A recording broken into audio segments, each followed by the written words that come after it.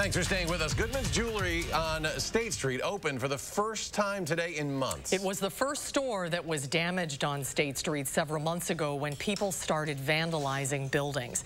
Our Jamie Perez joins us live there now with an update on what the process has been like for them to finally reopen. Jamie? So the outside of the building here is still boarded up, kind of like the rest of State Street is. The inside of the building is also under repair. Still some work that needs to be done here, but they really wanted to get a fresh start here as we begin a new month. Now, when the store owner first got a look at the damage a few months ago, all the jewelry cases were smashed in. He says about $60,000 worth of damage was done and about $25,000 worth of jewelry was taken as well. And then the last few months, they've been able to redo all of the cases and restock some merchandise. And the owners had seen customers again today was a relief.